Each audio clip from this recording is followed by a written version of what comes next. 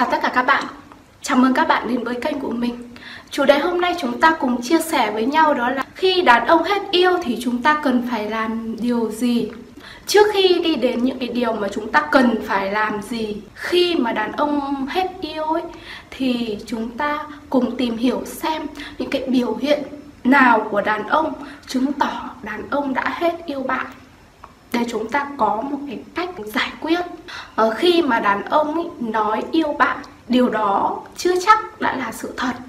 Nhưng mà khi đàn ông không hề nói rằng hết yêu bạn nhưng nhờ những cái biểu hiện dưới đây sẽ cho các bạn thấy rằng anh ấy đã hết yêu bạn. Thế nên bạn hãy dũng cảm để đối mặt với một sự thật mà mình không bao giờ mong muốn chắc chắn rồi. Bước đến tình yêu, ai cũng muốn có một cái kết thật đẹp. Nhưng khi người đó đã không còn yêu mình nữa, thì mình cũng phải biết, mình biết được rằng đàn ông hết yêu, để mình có thể chủ động rời bỏ anh ấy. Điều thứ nhất khi đàn ông hết yêu, đó là anh ấy sẽ luôn luôn nói mình rất bận khi mà bạn gọi điện, bạn nhắn tin, rồi có khi gặp nhau, suốt ngày anh ấy nói bận, anh ấy bận bất kể ngày, bất kể đêm. Và đa phần anh ấy đều nói với bạn là anh ấy rất bận. Cho dù những cái sở thích của hai người, bạn muốn rủ anh ấy đi, anh ấy cũng bảo bận. Khi mà bạn muốn làm cho anh ấy bất ngờ về một cái điều gì đó, nhưng anh ấy luôn thấy khó chịu trong người và cho dù bạn làm bất kỳ điều gì, anh ấy luôn luôn nói với bạn là anh ấy rất bận. Điều đó chứng tỏ rằng anh ấy không còn nghĩ đến bạn nữa. Mà anh ấy không còn bận tâm đến bạn nữa. Nếu mà anh ấy bận, thì anh ấy chỉ bận trong một khoảng thời gian thôi. Chứ anh ấy không bận trong một ngày có 24 tiếng. Anh ấy không thể bận được cả 24 tiếng được. Nếu mà anh ấy luôn mong muốn một cái mối quan hệ với bạn, thì chắc chắn anh ấy sẽ gạt công việc sang một bên. Chứ không phải là lúc nào anh ấy cũng kêu là bận. Thế nên rằng bạn đừng có biện minh cho anh ấy, rằng anh ấy dạo này anh ấy bận, hãy ờ, để cho anh ấy có thời gian. Bận cũng chỉ cùng nắm là vài ngày thôi, chứ không phải là khi nào cũng bận. Bạn đừng có viện cho anh ấy bất kỳ một lý do nào để lừa dối bản thân mình. Bạn hãy nhìn ra sự thật rằng anh ấy đã hết yêu bạn rồi. Điều thứ hai là anh ấy không còn muốn chia sẻ với bạn nữa. Ờ, trước đây thì anh ấy rất hay chia sẻ mọi điều với bạn trong cuộc sống ờ, rồi trong công việc rồi bạn bè anh ấy đều mong muốn chia sẻ rồi nói chuyện với bạn. Nhưng mà gần đây anh ấy không bao giờ muốn chia sẻ với bạn cho dù bạn hỏi anh ấy cũng không muốn nói nữa. Điều đó chứng tỏ rằng anh ấy đã sao nhãng bạn rồi. Điều tiếp theo là khi anh ấy có một người phụ nữ khác. Khi anh ấy có một người phụ nữ khác thì chắc hẳn rằng anh ấy sẽ không còn bận tâm đến bạn nữa và sẽ không còn thời gian để có thể gọi điện liên lạc và đi hẹn hò cùng bạn nữa.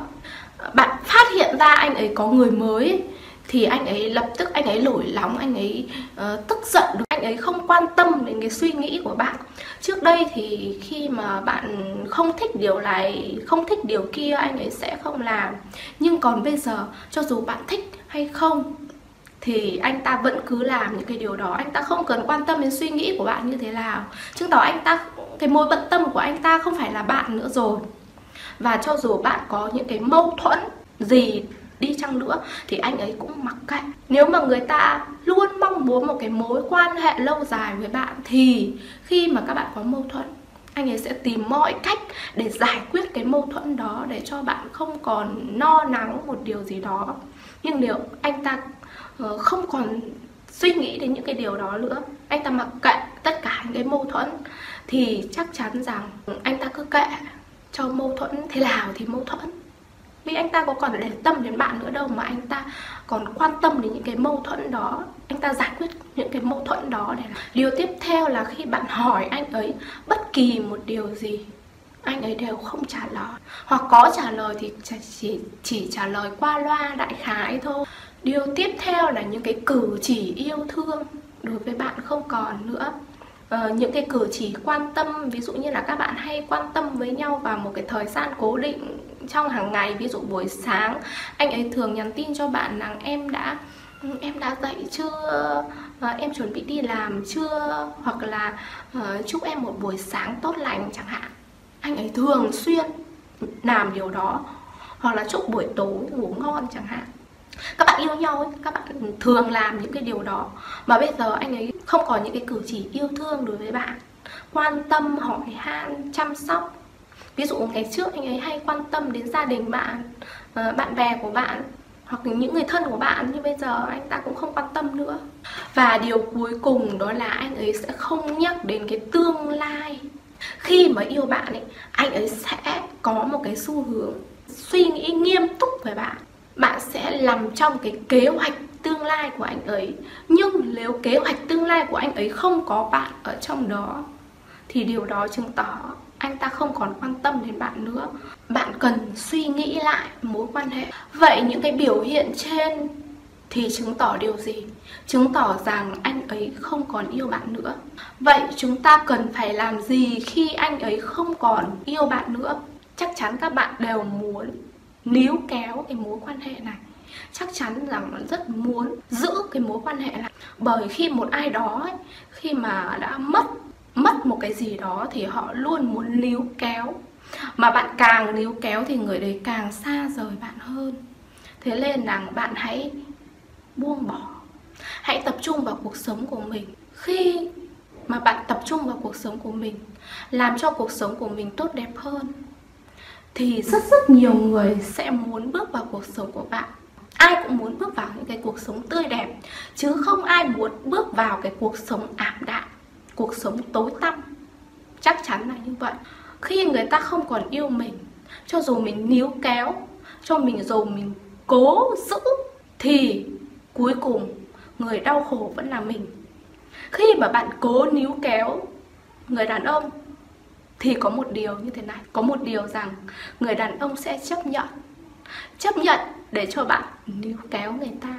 Nhưng liệu níu kéo thế, bạn có hạnh phúc đàn ông ấy người ta rất là tham lam. Người ta có một người phụ nữ rồi.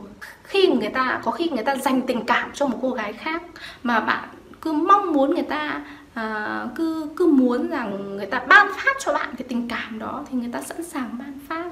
Tại sao mình lại ở trong một cái mối quan hệ phức tạp như thế?